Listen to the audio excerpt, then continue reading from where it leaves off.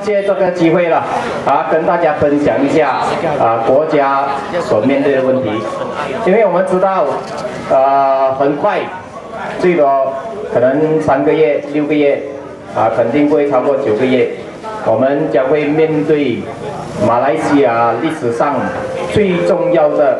一次的选举，因为。我们知道这次的选举呢，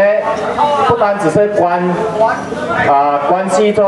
啊国政的生死存亡啊，其实这次的选举呢，最重要的其实是关键着马来西亚未来的方向走向那里。我们是否有能力通过在下一届的选举，通过选票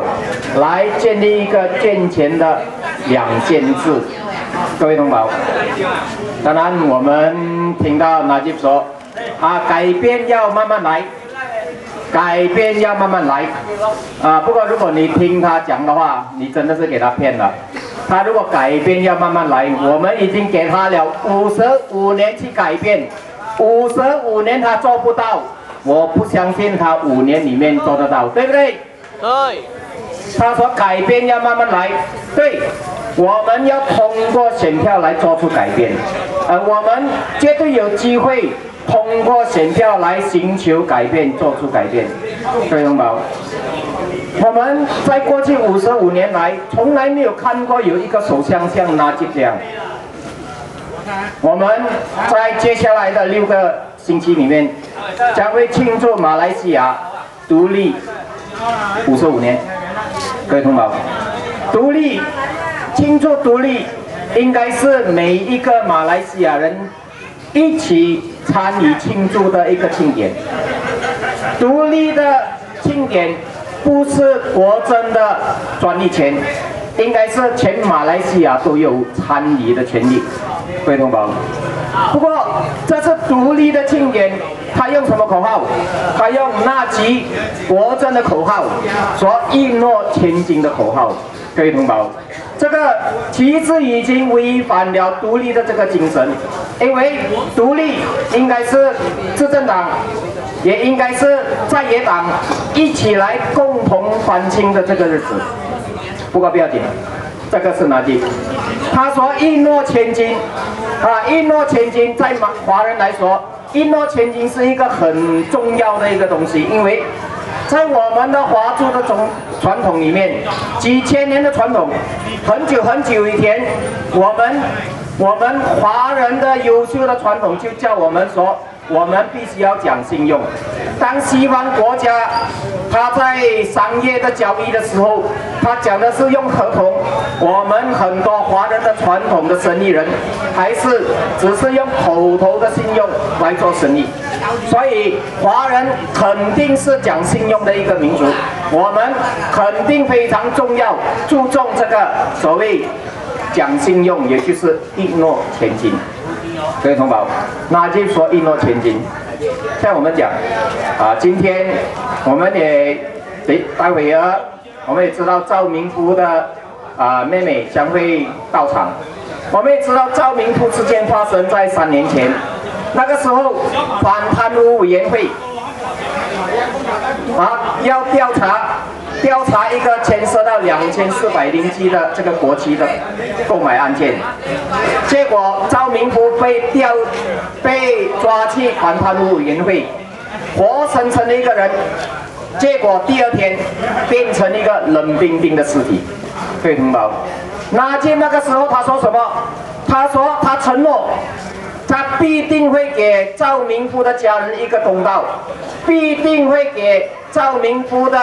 这个真相啊，让全世界人都知道，对同胞。结果我们是有一个所谓皇家调查委员会，小弟看过那个皇家调查委员会的报告，那个报告里面说些什么？首先他说，赵明福还没有被抓去之前。是一个年轻人，对前途充满着希望的这个年轻人，他是一个准备做丈夫的一个年轻人，是一个准备做爸爸的年轻人。所以赵明不在被抓去反贪污委员会之前，绝对不是有一个有自杀倾向的人，不是一个有自杀倾向的人。结果，根据那个调查委员会所介入的，他说赵明福被关去反贪污委员会的时候，因为官员的对他的对待，使到他经受不起这个压力。结果，根据他所讲的，根据调查委员会说，赵明福最终跳楼自杀。首先。我其实我还是要挑战，到今天为止，他是否是自杀，我们还是不能够确定，因为根据种种迹象，很有可能赵明福下来被楼上是被那个反贪污委员会那边被丢下，丢下楼。而死亡不一定是自杀，不要紧。假定我们说赵明不是自杀，我跟你讲，如果这件事情是在全世界其他国家发生的话，如果你一个人没有自杀的倾向，警方把你抓进监牢里面，跟你虐待，精神虐待、肉体上虐待，虐待到你自杀死亡，只有两个字能够形容这种行为。那两个字就是谋杀。我再重复一次，只有两个字可以形容这种行为，那两个字就是谋杀。SB，敢敢的记录下来，交给大家看。只有两个字。因为一个没有自杀倾向的人，给你虐待虐待到自杀的话，真的是你没有其他字眼可以形容，只有谋杀这两个字。可以通吗？我标警，皇家调查委员会说，他说 OK，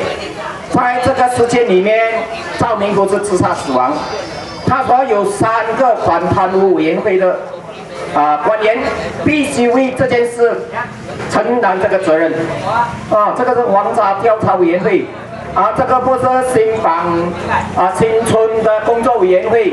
这个也不是学校的家教协会，这是皇家调查委员会建议说必须要对这三个采取行动。哇，那就说一诺千金，讲到很大声，讲到做到，这还是一诺千金。结果到今天发生什么事？三个月前在国会，小弟在国会里面提成一个问题。他说：“我说，我问，那个时候啊，根据赵明福的这个事件，反贪污委员会啊所所处理的事件，王家调查委员会已经做出决定啊，到底这三个官员啊有什么采取对这个三三个官员有采取什么行动？啊，结果首相署部长纳瑞回答说，他说其中两个官员。”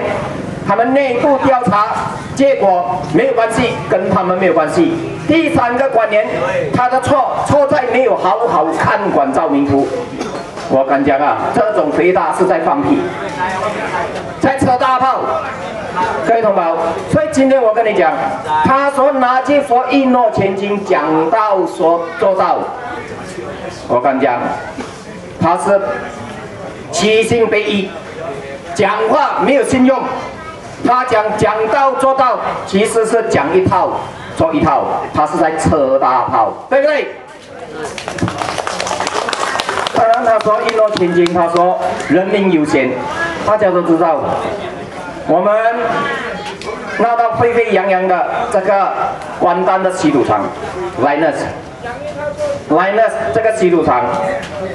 从老远澳洲那边，那边。来到马来西亚投资，本来我们都知道，你要投资外来投资是件好事，外来投投资制造就业机会，啊，刺激经济成长是件好事。不过我想问，很简单的，如果 Linus 这个厂这样好赚的话，这样能够刺激经济成长，一年能够带来几十亿零机的收获。澳洲这么不做，一定要来到马来西亚做。你要知道，这个厂，它那个土泥土提炼那个稀土的那个泥土，矿物泥土，它不是在关丹挖的哦，它是在澳洲那边挖了挖了那边的泥土，用用铁道再到这个澳洲的港口，再了那澳洲的港口，再从那边用船运到关丹的港口。哎，这个不是一斤两斤的泥土，这个是几千吨、几万吨的泥土，从老远从澳洲那边运来关丹，关丹这边提炼，提炼过后怎么样？提炼过后，它留下来的废料啊，到现在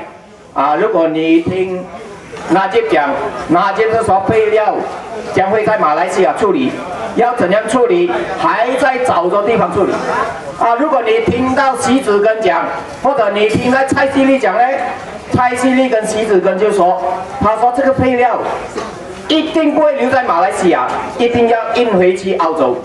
啊，如果你真的听他们两个这样子讲的话，我跟你讲啊，你今天真的不会相信他所谓的一诺千金。讲一套肯定是讲一套做一套，一个人讲一一点，另外一个人讲另外一面。